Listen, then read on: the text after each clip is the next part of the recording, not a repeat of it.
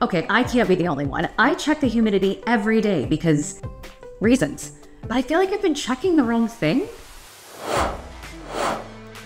They both tell you how moist the air is, but dew point is actually a better way to answer, yeah, but how does it feel? Oh, so that's why some days feel swampy and others don't, even though the humidity says it's the same thing? Exactly. The key thing to remember is that humidity, that percentage you see in the forecast, is relative to the actual temperature. So that's why 80% humidity in the winter feels like no big deal, but 80% in the summer feels miserable. There's way more moisture in the air in summer. That's why I have better hair days in the winter. Obviously, this depends on hair type and your mileage may vary. The dew point tells you exactly how moist the air is, which is what your body and your hair cares about.